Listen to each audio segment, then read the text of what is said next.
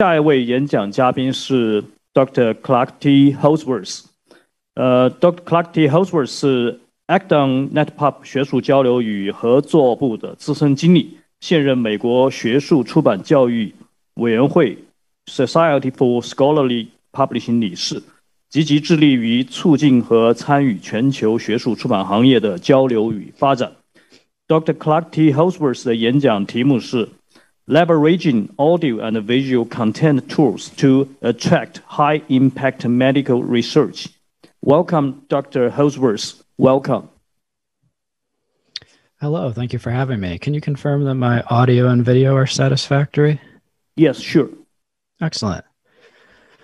Um, yeah, I'm very, very pleased to be here. Um, I appreciate you bringing me in so I can give this talk. Um, this is a little bit short for the volume of content, so I've done my best to um, pare us down to the essentials for this topic in terms of uh, what we're trying to leverage here. So I'm going to bring my slides up now. And that screen share looks okay?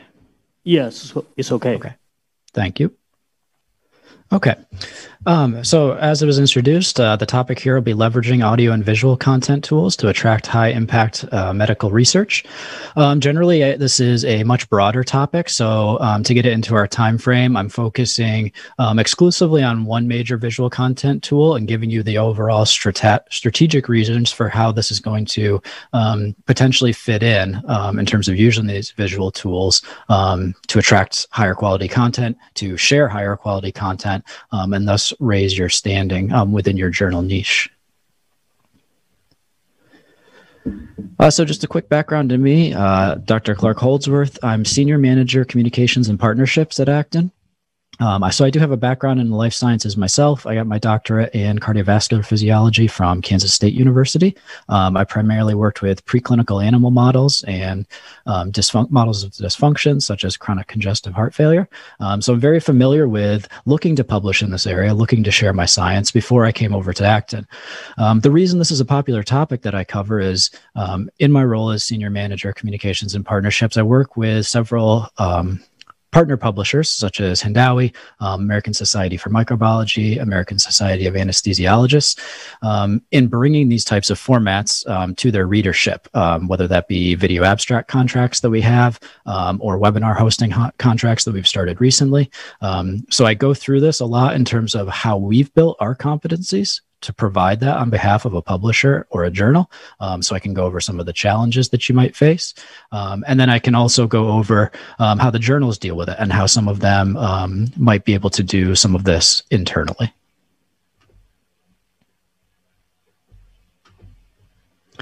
So these first few slides are going to be pretty brief because I just want to um, sort of introduce a concept that I'm all I'm sure that we're all quite familiar with, um, and that's sort of the ABCs of what you're looking to do um, as you progress. Whether it's year one in terms of your five year plan, um, or if you have a, um, a somewhat more established journal.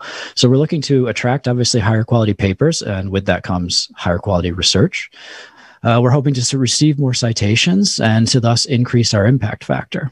What that looks like um, for each one. In terms of attracting higher quality papers, the, the key to remember is that publishing is currency. And so your author base, um, when I was an academic myself, this is the highlight of the year. Everything is built around that because it feeds into the entire system of their success. Um, these publications are, are what's going to feed into their grants, which will feed into their promotion and eventual tenure. This is where they're going to yield rewards. And then that's going to feed back into more publications. And they hope to build themselves up through this sort of cycle and this sort of cycle within their lab um, among their students, their postdocs, this type of thing. So it's the same goal for the journal is the same goal for the researchers in this initial step. Of course, what you're looking at mostly, um, although it is being devalued recently with um, initiatives like DORA, um, China has its own initiatives to de emphasize some of what the focus has been on impact factor recently and focus more on scientific impact outside of such a simplistic um, journal level metric rather than article level metric.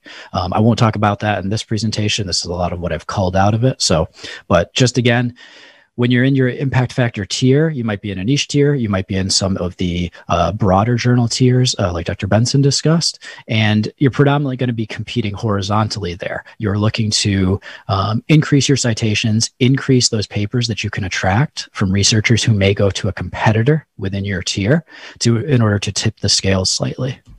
Which you then hope is obviously going to bring you to a final step, which is the real progress you're attempting to make year on year, which is to increase that impact factor. And the ability here to increase impact factor which should allow you to jump tiers. And this is how you're looking to progress vertically as you compete with people within your own tier if you can attract higher quality science, um, particularly if you are looking to attract somewhat broader science, if that is part of your aims and scope, um, it allows you to progress vertically in terms of raising that impact factor. Again, this can be year one, two, or it could be year 10. So overall, um, and what we see with authors, because we have a huge client base that's attempting to submit um, probably to many of your journals, and so, what we see in the selection process, um, as we see users using our journal selection tool or contracting us for journal recommendation services, is of course the focus is on impact factor. So, they're looking at sort of a choice one, two, three. They're trying to get maybe a trio of choices. Some people are doing um, somewhat more or less, but it's generally going by impact factor. And then among those, and in particular, if they need to go past those, what they're focused on and what they want to know from us and what they want to see with a journal selection tool is what can you do for speed? What can you do for editorial quality which is primarily dependent on your editorial board um, the quality of your editorial system your ability to manage metadata um, which goes into your production quality. So how does everything look when it's coming out? Because there's a lot of effort that they're putting into this. It's a very difficult process and they want the most value that they can get they're looking at, of course, article level metrics. So, how many citations am I getting? Not just how many citations is the journal getting. A high impact factor is great, but if my paper is not getting cited, um, it's not going to be extremely helpful. And then finally, this sort of value added features. And now, this whole level applies for sphere of influence for journal editors. These are all things that you can do to improve upon your journal and help in that selection process when authors are looking between you and another journal, particularly authors that have high quality research that you're seeking. What I'm going to do f- focus on here now is value added features. And this kind of goes into um, point nine, I believe, point nine and 10 um, from Dr. Benson's presentation that she just had on that last slide of sort of the top 10 factors. So, overall, so what we're focused on again is content innovation for driving this readership. We'll go through the content supporting readership gains. We'll look at planning novel content, current trending content. I'm going to focus a bit on what we've seen from this past year. And then finally, my take home message, which I will present to you now.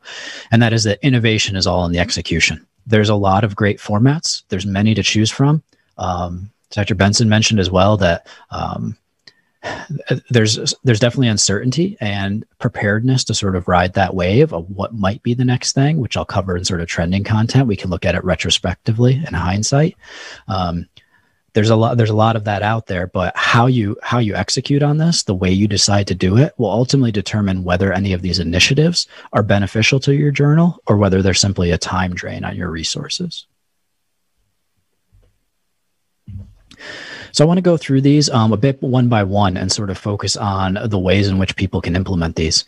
Um, the first one that we have here is highlights, which I think will be familiar to many of you. Um, this is relatively common. The reason it's relatively common is it's easily executable. This is something that can be relatively author dependent. Um, you simply need to provide the authors with resources, which I'll be going through in some subsequent slides.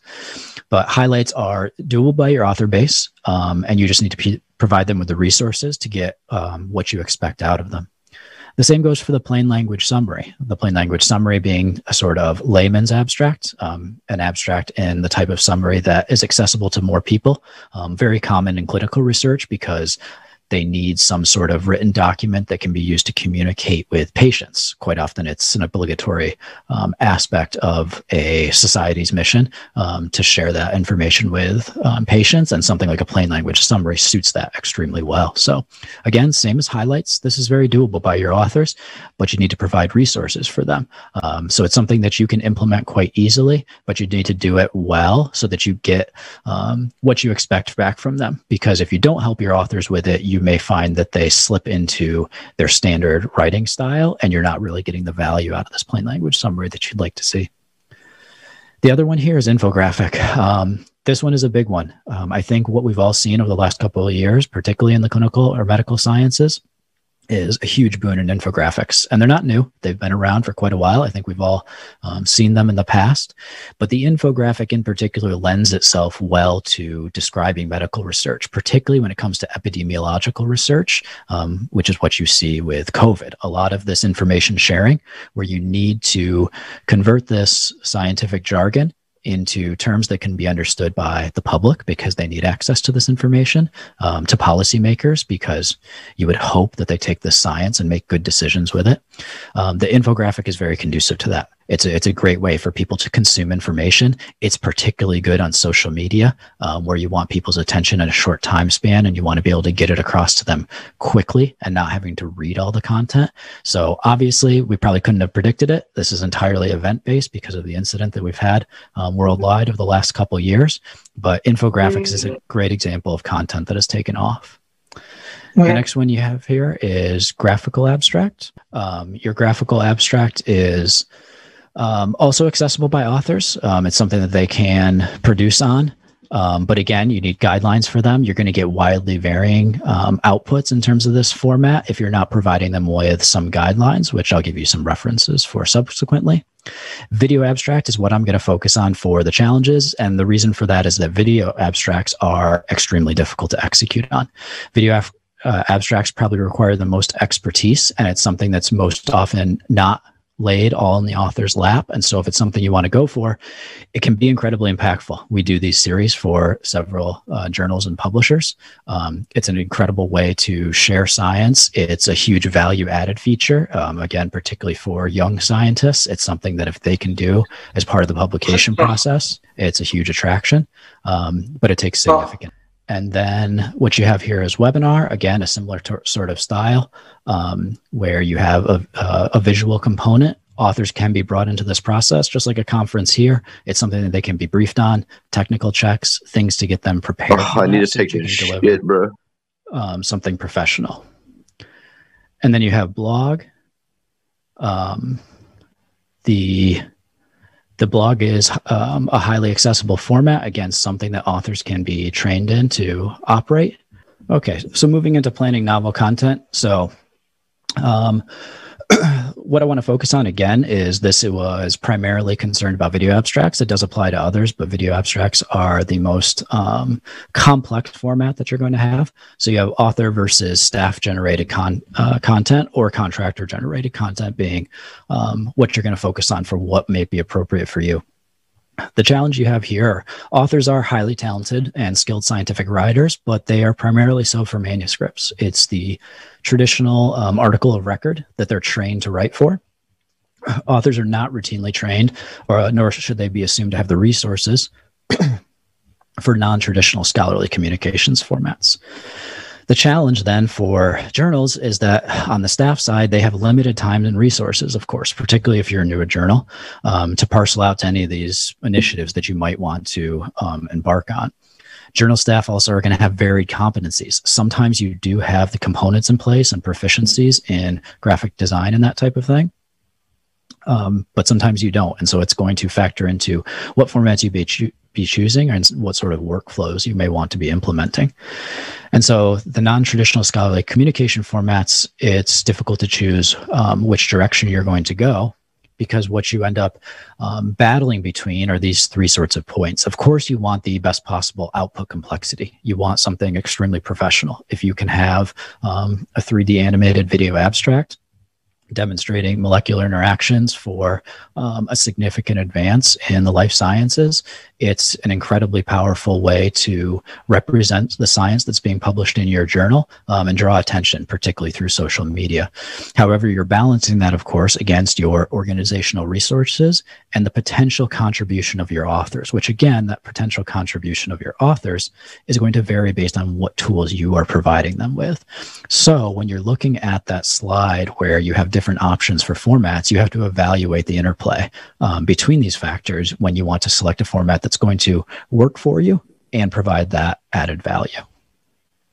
So what you see for trending content, as we discussed, infographics have been extremely huge um, since COVID. Unfortunately, that's not the reason that we want to see them, but it has been an, a very very useful tool in communicating science during that time.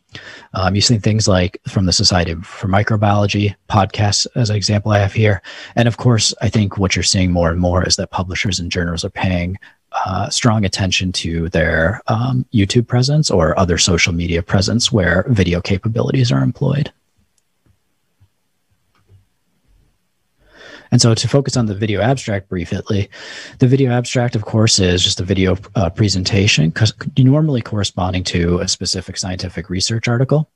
And it's usually tied to the paper um, where the article of record for the paper is a trend now is there is the potential to grant DOIs for this type of work. Um, we're working with uh, Crossref with their head of metadata for potentially developing schemas so that video content um, can be stored and assigned its own DOI so that that will become um, its own um, digital objects that you can then reference um, independent of the paper. Um, that's also something that you're going to be seeing with webinars and that type of thing. So again, metadata will be very important going forward, um, but these formats are starting to become much more robust, um, have much more staying power, and be more widely implemented because they are um, falling into this sort of article of record um, loop.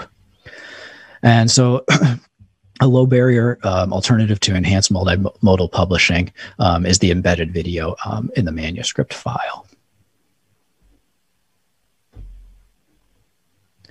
And so the key thing to remember here for these formats, again, this applies widely, but I want to focus on the video abstract uh, here for time. They are going to be highly reusable. Um, you can go to news outlets with them. Uh, university press releases will commonly want to adopt them. Laboratory web pages, of course, for the individual scientist or researcher. Social media, conferences, we see a lot of reuse, and you see a lot of digital abstracts going on at conferences right now. Um, presentations such as this one, they're commonly um, utilized because then you have something that's going to encapsulate a large portion of your presentation in three minutes or less tenure evaluations are do- adopting this sort of uh, data visualization. And of course, supplementary materials are another option for it, particularly when a journal doesn't have video abstracts um, as a format type. It's also something that can be, in a more general term, included as supplementary material. the challenges for journals then are, of course, incorporating multimodal publishing in a way that enhances the communication of the research in a professional manner and supports the promotion efforts of the publisher themselves. So the ideal format for a video abstract, and this is something that seems to have been established in terms of the trends that you see in the industry, is two to three minutes, which is going to approximate to 200 to 350 words for a script. 350 words is usually pushing it because when you actually end up narrating a script, um, a voice actor is going to be pretty slow with it and so, what seems to be um, a relatively short script will turn into a relatively long narration. So, definitely 350 words would be a pretty hard cap. Most commonly, it's going to be lay language and it's going to be verb intensive. So, it's an adaptation of technically dense writing material. And you typically omit things that aren't necessary. Again, the video abstract is designed to share information um, that's highly relevant, um, the main points of the research. And again, this applies to infographics blogs, the same type of thing. And so there's not as much focus on the robustness of the reporting when it comes to methods, statistics, etc. And the ideal format, of course, would be in the most the most possible engaging um, and production quality and highest production quality that you can uh, master. So best quality it would be fully animated video incorporating professional narration and conceptual representations, which is something we've worked really hard for. Um, something on the lower or simpler end, I would think of it as, is PowerPoint lecture slides or a video interview um, in a simple format, perhaps through something like Zoom. Um, this is not as useful for many of the re- reusable formats um, that you saw on the previous slides. But the key here is to minimize restrictions um, as best you can. An example I want to give here is BMJ uh, does this quite successfully, and their guidelines include um, the obvious as short as possible and certainly no more than four minutes. They encourage it to be as high end as possible, leveraging the university. Um, uh, typically your university media departments have resources for this or you may have a budget for outsourcing this type of production through the communications department um, and the inclusion of graphics and 3d animation can be crucial Uh, one of the major barriers that we see for implementation and some of the challenges that the journals come to us with is resources for hosting the content. So evidence suggests viewership for native and external hosting are correlated, which means it's not entirely necessary to host natively through your platform, through your site. Um, this uh, this data was uh, from the New Journal of Physics, where there's a strong positive correlation between view counts on the native platform and their corresponding YouTube platform. So, some of that correlation may be because people are seeing it in the native platform, but then choosing to watch it on YouTube. So, if they didn't see it on the platform, they might not have, have gone over there. Um, but generally, um, going to a social media platform to host that sort of content yourself doesn't seem to be damaging to the viewership. So, um, and then promoting initial standards without available examples can be really hard. So, getting these initiatives off the ground um, can be a huge ta- uh, challenge. Uh, one one thing that you can get around and something that we've uh, done for clients is commissioning highlighted video abstracts so that you can get examples of what you would like your authors to have. Examples can sometimes work better than guidelines because if they see um, what sort of work they should be providing or what they should be sharing with you for this sort of content format, um, it's easier for them to align with that. And so producing a modest gallery in-house um, using your staff or outsourcing it can be a valuable way to get the initiative started um, if you are going to be leveraging authors to a strong degree in terms of dealing with any of this content, whether it's infographics, video abstracts, um, anything of that nature. And so finally, I'll close up with the challenges. So to retain their value, um, video abstracts must be flexible and not directly tied to the peer review. It makes quality control challenging then because there's um, you must go through the process with the authors and try to get the expected outputs out of them. Um, and so a key is that authors need options and support from the journals and publishers that can come in the form of um, very detailed guidelines, um, reference work, um, as we mentioned, or possibly some sort of referral to outsourcing author services agencies that um, can do things like infographics, journal cover art, um, video abstracts, any of these audio visual formats um, that you may be wanting to adopt. I think I'm a little bit over time. Apologies for that. Well, thank you so much, Clark.